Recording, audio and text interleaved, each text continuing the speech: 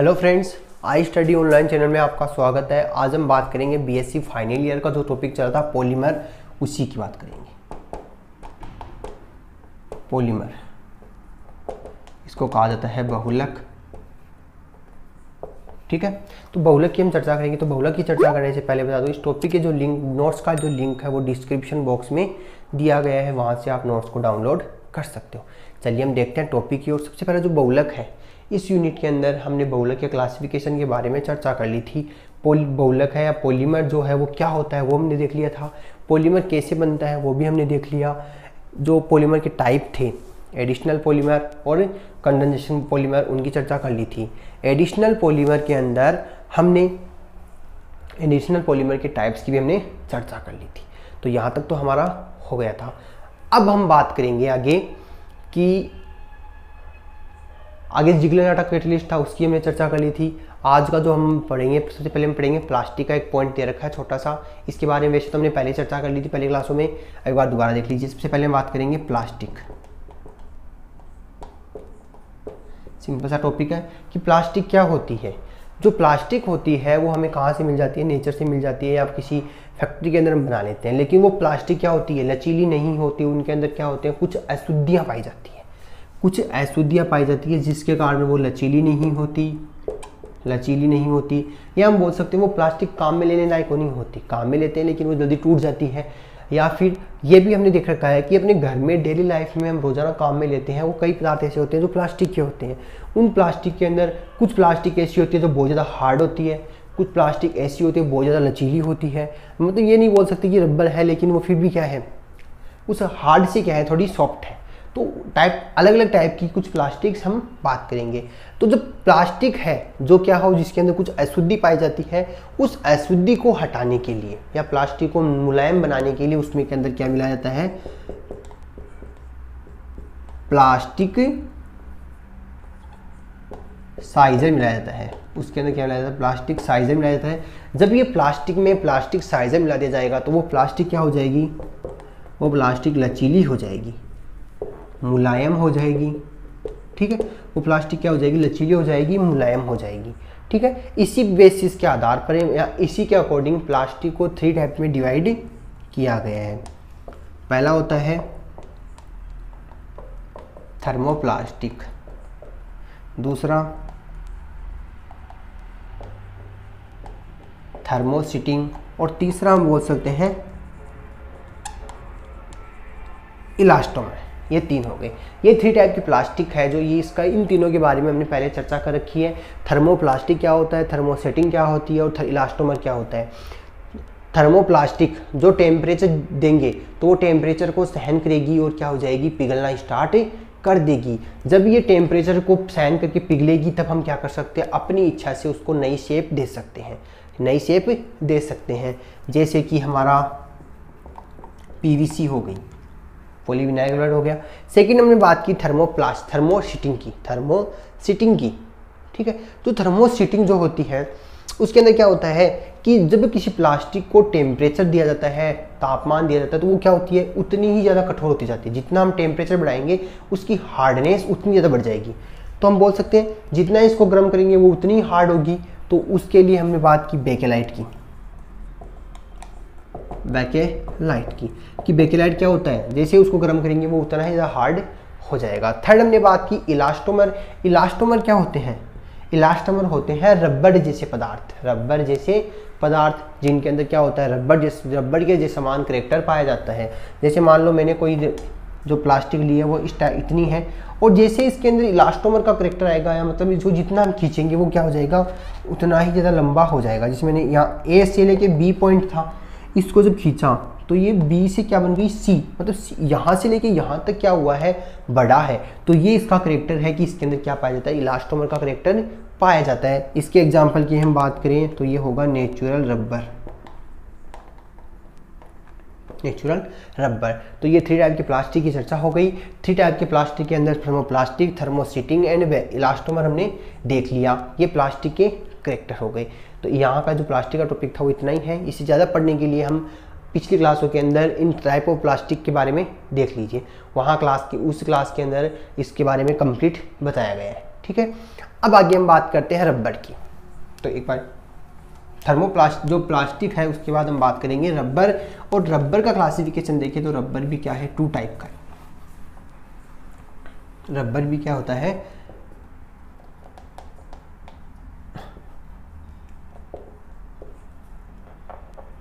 Rubber. तो rubber को हम देखें तो ये भी क्या है? टू टाइप का। पहला हम बात करें नेचुरल रबर सेकंड हम बात करेंगे तो ये क्या होगा? आर्टिफिशियल रबर तो देखिए नेचुरल जो रबर होता है, वो किसका बना होता है? आइसोप्रीन का।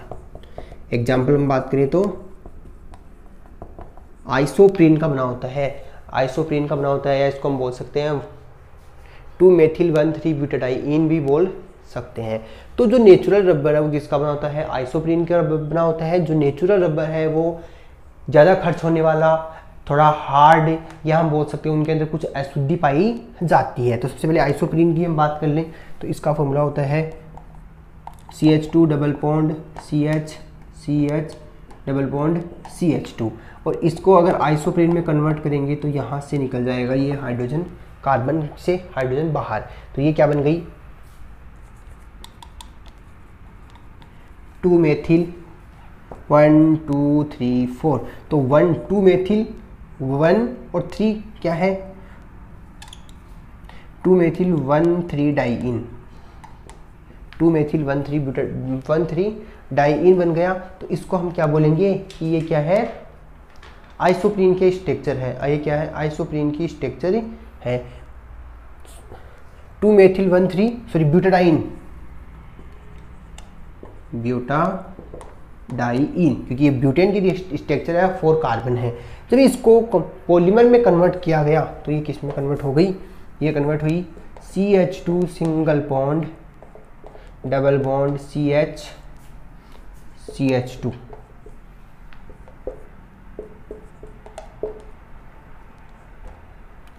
ये किसमें कन्वर्ट हो गई? आइसोप्रीन पोली आइसोप्रीन में कन्वर्ट हो गई। पोली आइसोप्रीन में कन्वर्ट हो गई। जो ये रिएक्शन है, वो क्या कहलाएगी? पॉलीमराइजेशन कहलाएगी, ठीक है? ये रिएक्शन क्या कहलाएगी? पॉलीमराइजेशन तो आइसो नेचुरल रबर की हमने बात की तो नेचुरल रबर हम लेंगे आइसोप्रीन आइसोप्रीन को क्या होता है? Two methyl one three butadiene को हमने काम में लिया और जब इसकी पॉलीमराइजेशन करवाई गई बहुलीकरण करवाया गया तो ये किसमें कन्वर्ट हो गई? पोली आइसोप्रीन में कन्वर्ट हो गई, ठीक है? अब ये पोली पोलियाइसोप्रीन तो बन गया नेचुरल रबर अब नेचुरल रबर के अंदर क्या पाई जाती है? कुछ अशुद्धि पाई जाती है, जिसके कारण उसको हम काम में नहीं ले सकते। तो उसके, उसको प्योर करने के लिए हम क्या करेंगे? उसके अंदर सल्फ़र की रिएक्शन करवाएँगे। उसके सल्फ़र की रिएक्शन करवाएँगे। सल्फ़र की रिएक्शन करवाएँगे, उससे पहले हम बात करेंगे इसके पोलीमर बनने की प्रोसेस को। ठीक है? तो वन थ्री जो मतलब जो हम बोल सकते हैं आइसोप्रीन है। आइसोप्रीन है, उसका carbon number one and carbon number four क्या करते हैं? बॉन्डिंग बनाते हैं। मतलब बोल सकते हैं फ़र्स्ट का कार्बन नंबर वन है तो सेकंड का क्या होगा? कार्बन नंबर फोर फिर से carbon number one carbon number four दोनों क्या करेंगे? बॉन्डिंग बनाएँगे। तो जैसे कि हम बात करें यहाँ पे आइसोप्रीन की तो C H two C double bond C H C H two इधर तो ये बड़ा हो जाएगा।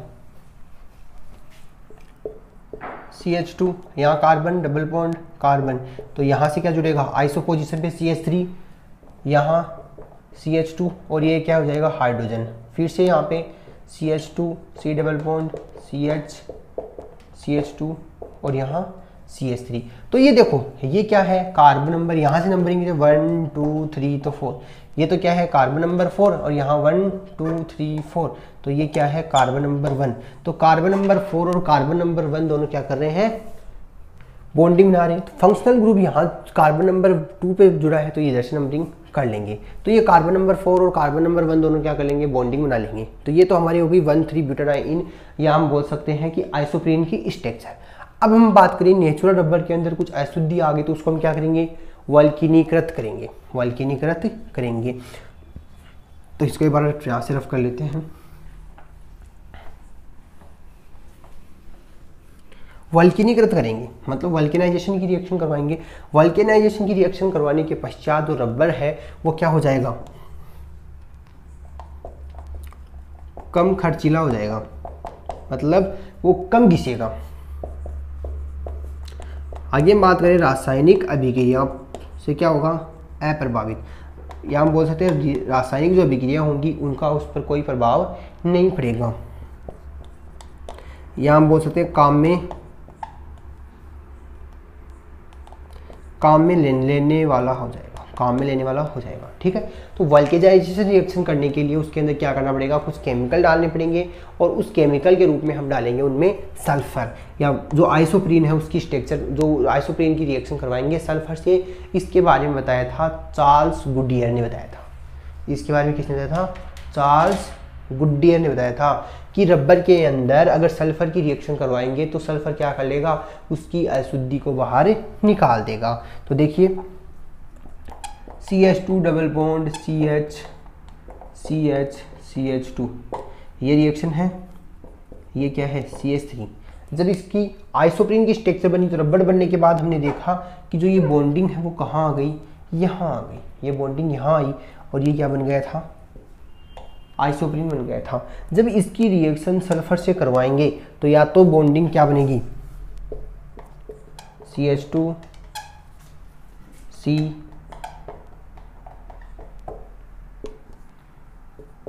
C S three यहाँ है तो सल्फ़र यहाँ जुड़ जाएगा। फ़र्स्ट पोजीशन पे, अगर सेकंड पोजीशन की बात करें तो C H two C C H three C H two और एस यहाँ जुड़ जाएगा। यहाँ क्या आ जाएगा? एच आ जाएगा। तो हम बात करें one two three four carbon की वैलेंस यहाँ भी कंप्लीट है वन टू थ्री कार्बन की वैलेंस यहाँ भी कंप्लीट है। तो यहाँ जब ये सल्फ़र ऐड हो जाएगा तो सल्फ़र के साथ जो अशुद्धि वो बाहर निकल जाएगी और हमें क्या बन जाएगा? नेचुरल रबर है, वो क्या बन जाएगा? शुद्ध प्राप्त हो जाएगा। उसके अंदर जो अशुद्धि है, वो हट जाएगी। तो ये तो क्या हो गई? वल्केनाइजेशन की प्रोसेस हो गई। वल्केनाइजेशन की प्रोसेस हो गई। अब हम बात करेंगे आर्टिफिशियल रबर की। आर्टिफिशियल रबर को क्या कहेंगे?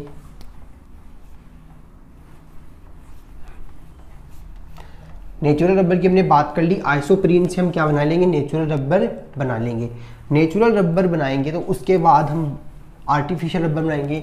आर्टिफिशियल रबर हम बात करिए तो ये कहाँ बनता है? फैक्ट्रियों में बनता है इंडस्ट्रीज़ में बनता है। आर्टिफिशियल रबर की बात करेंगे तो इसके अंदर क्या होंगी? टू मोनो इकाइयाँ होंगी। टू मोनो इकाइयाँ होंगी और आर्टिफिशियल रबर क्या होता है? ब्यूना एस होता है। एग्ज़ाम्पल हम बात करेंगे। Buna S. ये क्या है कि आर्टिफिशियल रबर है तो इसके लिए कौन कौन सी एक मोनोमर इकाइयाँ जुड़ेगी? तो वो एक तो जुड़ेगी acrylonitrile C H two double bond C H C six H five ये भी क्या है? एन मोलिक्यूल इसको बोलते हैं एक्रिलो नाइट्राइल। सब प्लस, या इसको हम बोल सकते हैं एक्रिलो नाइट्राइल, या जो स्टाइरिन सॉरी स्टाइरिन बोलेंगे इसको। एक्रिलो नाइट्राइल नहीं बोलेंगे स्टाइरिन बोलेंगे। स्टाइरिन और one three butadiene. One three butadiene भी बोलेंगे। तो वन थ्री ब्यूटाडाइन की बात करें तो C H two double bond C H C H double bond C H two ये जुड़ गई।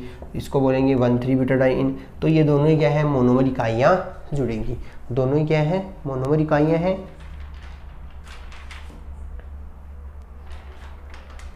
अब देखिए, जब स्टायरिन और ब्यूना एस को जब जोड़ा गया स्टायरिन और ब्यून सॉरी स्टायरिन और जो ये है one three butadiene one three butadiene और स्टायरिन को जोड़ा गया तो ये कौन सी रिएक्शन बनाएगा?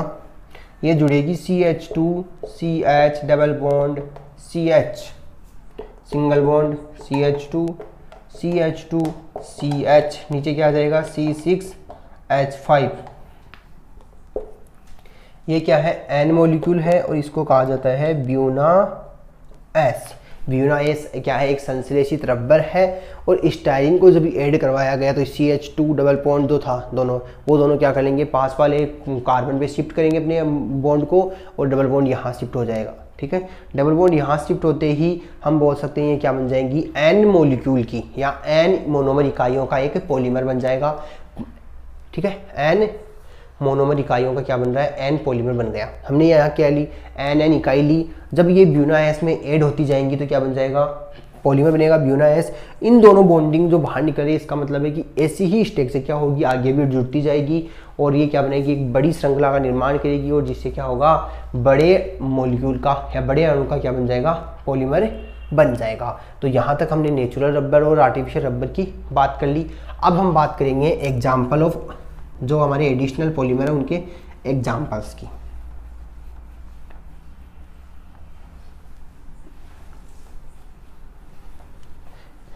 एडिशनल पॉलीमर्स के एग्ज़ाम्पल दिए गए हैं। यूनिट के अंदर वही हम चर्चा करेंगे।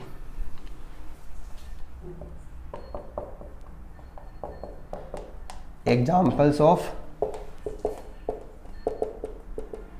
additional polymer example of additional polymer की हम चर्चा कर रहे हैं। एडिशनल पॉलीमर की हम चर्चा करेंगे। तो सबसे पहले हम बात करें इसके अंदर एडिशनल पॉलीमर क्या होता है? ये तो हमने पहले ही देख रखा है पिछ, पिछली क्लासों के अंदर कि एडिशनल पॉलीमर का मतलब होगा कि यहाँ पे क्या होगा? मोनोमर इकाइयाँ जुड़ती जाएँगी या मोनोमर इकाइयों का एड होगा। मोनोमर इकाइयों का एड होगा। दो मोनोमर इकाई तीन मोनोमर इकाई या हज़ारों मोनोमर इकाइयाँ क्या होंगी? आगे से आगे जुड़ती जाएगी और एक बड़ी श्रृंखला का निर्माण कर लेगी। उस बड़ी श्रृंखला या वृद्ध अणु को ही हम क्या कहेंगे? पॉलीमर कहेंगे। देखिए एडिशनल पॉलीमर की हम बात करें तो इसमें जो मोनोमर इकाइयाँ होंगी वो, एक ही टाइप की होंगी। वन टाइप की मोनोमर इकाइयाँ बार बार जुड़ेगी और पॉलीमर का निर्माण कर लेगी। वन टाइप की मोनोमर इकाइयाँ आगे से आगे जुड़ती जाएगी पॉलीमर का निर्माण करेगी। इसे हम क्या कहते हैं? एडिशनल पॉलीमर कहते हैं। एडिशनल पॉलीमर कहते हैं। आगे दूसरा टाइप जो था संगनन बहुलक, उसके अंदर हम देखेंगे कि दो प्रकार के मोनोमर इकाइयाँ क्या करेगी? बॉन्डिंग बनाएगी। दो प्रकार के मोनोमर इकाइयाँ, दो से ज़्यादा मोनोमर इकाइयाँ जुड़कर क्या करेगी? पॉलीमर्स का निर्माण करेगी। तो उसको हम आगे देखेंगे। पहले आज हम देखते हैं एडिशनल पॉलीमर एडिशनल पॉलीमर के अंदर फ़र्स्ट जो टॉपिक है, उसका नाम है पीवीसी इसको बोला जाता है poly vinyl chloride polyvinyl chloride इसका फॉर्मूला होता है C H two double bond C H C L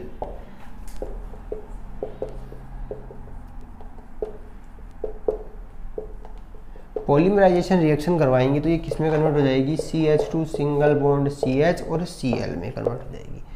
N molecule और ये बॉन्डिंग हमने निकाली बाहर। तो ये क्या है?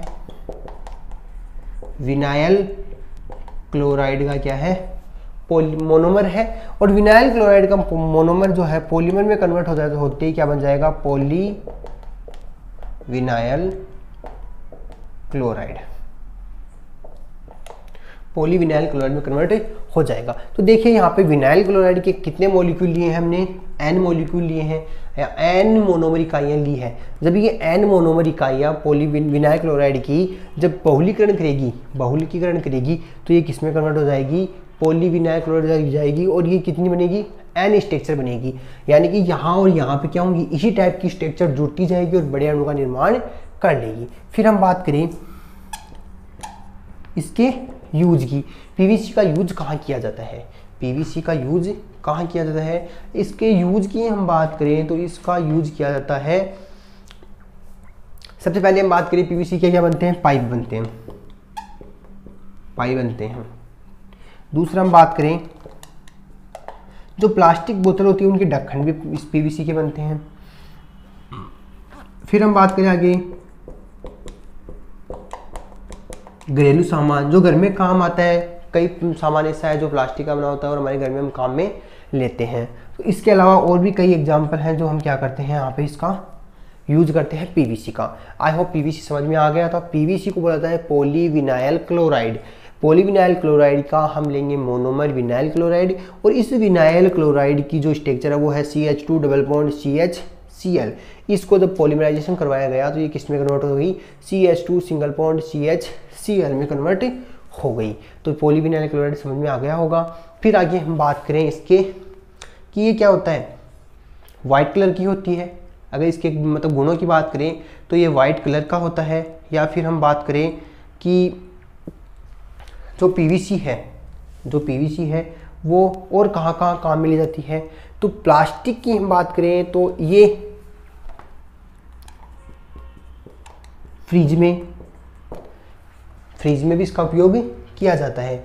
फ्रिज में भी इसका उपयोग किया जाता है पीवीसी पाइप का, या फिर हम बोल सकते हैं जब इसको जलाया जाता है पीवीसी पाइप को जलाया जाता है तो ये क्या हो जाती है? सिकुड़ जाती है। सिकुड़ जाती है या फिर ये क्या है? पाउडर फॉर्म में तो आएगी। या मैं उससे डिजोल्व नहीं हो पाता अकेले पाउडर बनाएगी। क्योंकि जब ये इतना बड़ा पाइप है, जैसे इसको टेम्परेचर देंगे, ये क्या बन जाएगी? ऐसी मतलब सिकुड़ जाएगी। कंप्लीटली पाउडर फॉर्म में नहीं आएगी, लेकिन ये सिकुड़ जाएगी।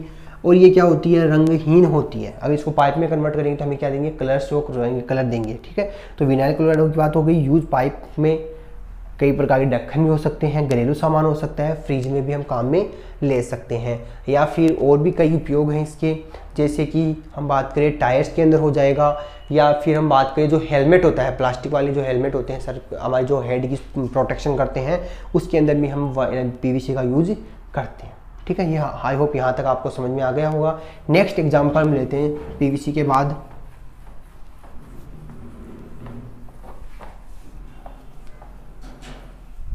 पीवीसी के बाद जो सेकेंड एग्ज़ाम्पल है, उसको हम बोलते हैं टेफ्लॉन टेफ्लॉन का जो फॉर्मूला होता है, वो होता है C F two double bond C F two sorry वही एन मोलिक्यूल होंगे और जब ये रिएक्शन करेगी पॉलीमराइजेशन करेगी, जब ये भी क्या करेगा पॉलीमराइजेशन तो C F two single bond C F two में कन्वर्ट हो जाएगा। और क्या बना लेगा? टैफलॉन बना लेगा, या हम बोल सकते हैं पोली टैफलॉन बना लेगा। पोली टैफलॉन बना लेगा। तो टेफ्लॉन से क्या बना? पोली टेफ्लॉन बन गया। टेफ्लॉन से क्या बना? पोली टेफ्लॉन बन गया। पोली टेफ्लॉन बन गया। इसको हम बोला जाता है टेट्रा फ्लोरोएथेन इसको क्या बोला जाता है? टेट्रा फ्लोरोएथेन ठीक है? क्योंकि इसके अंदर क्या है? कार्बन भी है फ्लोरीन भी है। तो तो उसको बोला जाता है टेट्रा टेट्रा फ्लोरो एथेन तो अब आगे हम बात करें, इसका यूज़। इसका यूज़ किया जाता है? बर्तनों के हत्ते बनाने में। बर्तनों के हत्ते बनाने में। जो क्या करते हैं, जितनी ज़्यादा हीट दो वो गर्म नहीं होते, या हमारा हाथ नहीं जलता। जो बर्तन हम रसोई घर में काम में लेते हैं, उनका या वहाँ पे इसका यूज़ किया जाता है। वहाँ पे इसका यूज़ किया जाता है, या फिर हम बोल सकते हैं कि जो लाइट फिटिंग के जो उपकरण है, विद्युतीय उपकरण है, उसको बनाने में। तो यहाँ लिख सकते हैं, बिजली का सामान। सीधा लिखते हैं, बिजली का सामान बनाने में भी हम किसका यूज़ करते हैं? टेफ्लॉन का यूज़ करते हैं। तो टेफ्लॉन की हम बात करें तो C F two double point C F two तो इसको हम क्या कहेंगे? सी एफ़ फोर भी बोल सकते हैं सी टू तो ये क्या है? C double point C ethene और फ्लोरिन कितने हैं? फोर तो इसको क्या कहा जाता है? टेट्रा फ्लोरो एथेन देखिए tetra fluoro ethene tetra fluoroethene कहा जाता है? टैफ्लॉन और इससे क्या बनता है? पोली टेट्रा फ्लोरोएथिन बनता है। तो इसको लिख देंगे पोली टेट्रा फ्लोरोएथिन ठीक है? तो जो टेफ्लॉन है, उसका यूज़ बर्तनों के हत्ते बनाने में, बिजली के सामान बनाने में किया जाता है। आई होप यहाँ तक आपको टेफ्लॉन जो है पॉलीमर जो मोनोमर इकाइयों से मिलकर बना है, वो हम चर्चा कर लें। अब आगे हम बात करेंगे थर्ड जो है।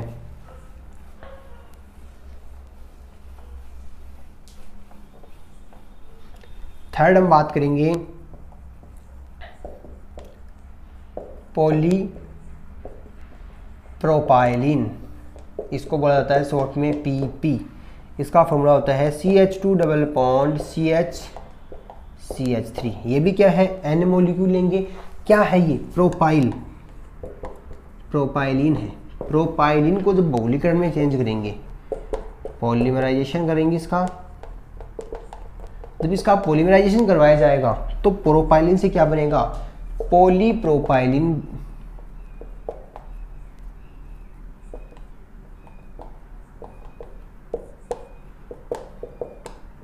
पॉलीप्रोपाइलिन में कन्वर्ट हो जाएगा।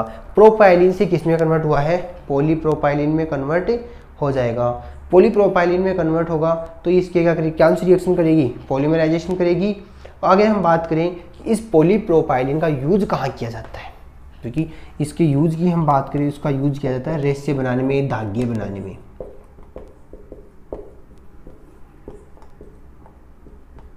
रेसे बनाने में पॉलीप्रोपाइलिन का यूज़ किया जाता है, ठीक है? ये हमारा फोर्थ पॉइंट हो गया। अब हम बात करें नेक्स्ट यहीं पे कर लेते हैं फोर्थ पॉइंट की। फोर्थ पॉइंट की हम बात करें तो स्टाइलिन स्टाइरिन स्टाइरिन का फॉर्मूला होता है C H two double bond C H C six H five N molecule हम बात करेंगे। एन मोलिक्यूल हम बात करेंगे तो यहाँ से हम बात करें तो ये क्या बनेगा? C H two C H C six H five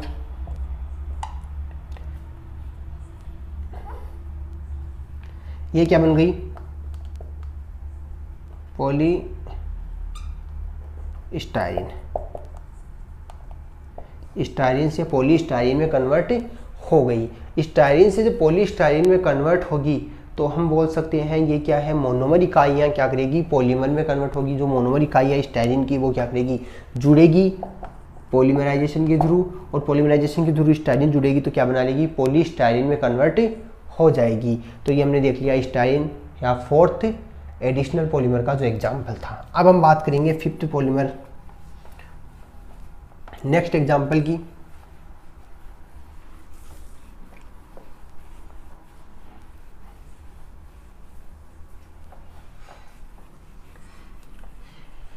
next जो एग्ज़ाम्पल है, उसको हम बोल देते हैं पोली एक्रिलो नाइट्राइल, इसको शॉर्ट में कहा जाता है P A N poly acrylonitrile ठीक है? इसका फॉर्मूला होता है C H two double bond C H C N N molecule लेंगे। ये भी क्या करेगी? पॉलीमराइजेशन करेगी। तो क्या इसमें कन्वर्ट होगी? C H two single bond C H और सी एन में। इसको कहा जाता है P A N P A N कहा जाता है। पोली एक्रिलोनाइट्राइल है। मतलब ये हम बोल सकते हैं, ये क्या है? एक्रिलोनाइट्राइल है। एक्रिलोनाइट्राइल से क्या बना? पोली एक्रिलोनाइट्राइल बन गया। एक्रिलोनाइट्राइल से क्या बना? पोली एक्रिलोनाइट्राइल बन गया। ठीक है? तो मोनोमर इकाई हम बात करें तो एक्रिलोनाइट्राइल की जो मोनोमर इकाइयाँ हैं, वो क्या करेगी? आगे से आगे अब बार बार जुड़ेगी तो क्या बना लेगी पोली एक्रिलोनाइट्राइल बनेगी। एक बड़े अणु का निर्माण कर लेगी। एन मोलिक्यूल लिए हैं तो ये एन मोलिक्यूल पॉलीमर हमें प्राप्त हो जाएँगे। या हम बोल सकते हैं एन अणुओं का क्या बना है? पॉलीमर बना है। तो ये पोली एक्रिलोनाइट्राइल हो गया। इसके बाद हम नेक्स्ट बात करेंगे।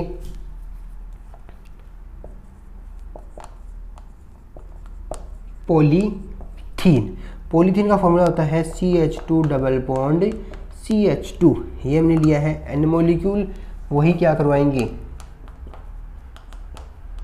पॉलीमराइजेशन करवाएँगे और जब पॉलीमराइजेशन करवाएँगे तो ये किसमें कन्वर्ट हो जाएगा? C H two single bond C H two में कन्वर्ट हो जाएगा। ये क्या है? एन मोलिक्यूल है। पॉलीथीन ये क्या है? एथीन के जो मोनोमर इकाइयाँ हैं, वो क्या बना लेगी? पॉलीएथीन बना लेगी। और इसके यूज़ की हम बात करें। सबसे पहले इसके गुणों की बात करें तो गुण की हम बात करें तो ये कैसा है? सफ़ेद है। ज्वलनशील है। मतलब जैसे इसको गर्म करेंगे तो ये क्या होगी? ये भी सिकुड़ेगी। ये भी क्या होगी? सिकुड़ेगी। और यूज़ की हम बात करें तो इसका यूज़ कहाँ किया जाएगा? थैली बनाने में। बैग्स बनाने में, जो पॉलीथीन की बैग्स होती है वो बनाने में।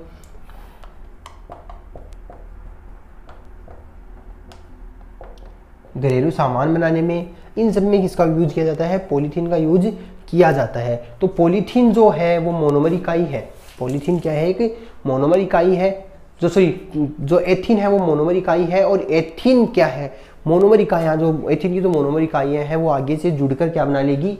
पॉलीथीन बना लेगी। आगे जुड़कर क्या बना लेगी? पॉलीथीन बना लेगी।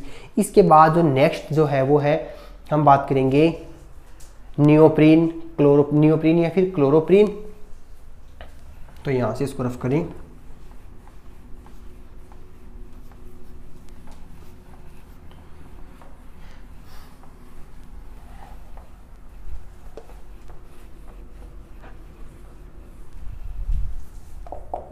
इसको कहा जाता है नियोप्रीन या इसको ही हम बोल सकते हैं क्लोरोप्रीन नियोप्रीन या क्लोरोप्रीन नियोप्रीन हो या क्लोरोप्रीन उसकी हम बात करेंगे। तो क्लोरोप्रीन है नियोप्रीन तो उसके लिए हम फॉर्मूला लिखें C H two double bond C C H double bond C H two और ये क्या है? सी एल जुड़ा है। सी एल जुड़ा है। तो ये क्या है? क्लोरोप्रीन है। ये क्या है? क्लोरोप्रीन की स्ट्रक्चर है। क्लोरोप्रीन है तो इसको हम बोल सकते हैं, वैसे तो ये क्या है? नॉर्मली जो नेचुरल रबर है वो है। नेचुरल रबर है। नेचुरल रबर है। ठीक है? अब हम बात करें आगे कि इसको तो पॉलीमराइजेशन में कन्वर्ट करेंगे। तो ये किसमें कन्वर्ट हो जाएगा? C H two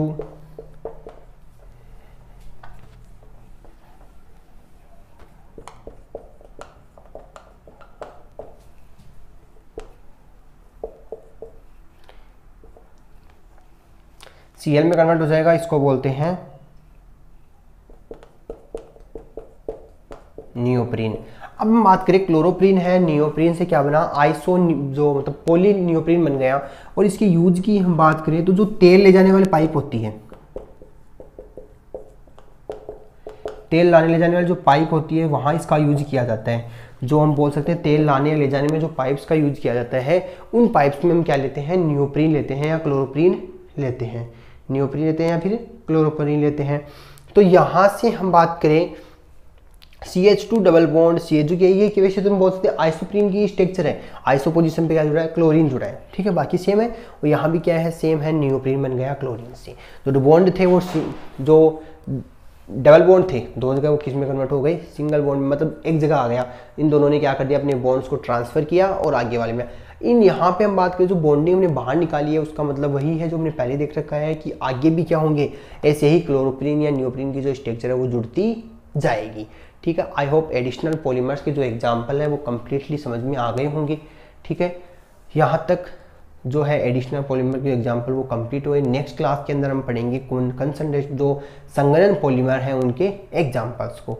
तो उसके लिए हम पढ़ेंगे नेक्स्ट क्लास में। वीडियो पसंद आए तो लाइक एंड शेयर ज़रूर करना। चैनल पे नए हो तो चैनल को सब्सक्राइब करना ताकि आने वाली वीडियो का नोटिफिकेशन आपको मिलता रहे।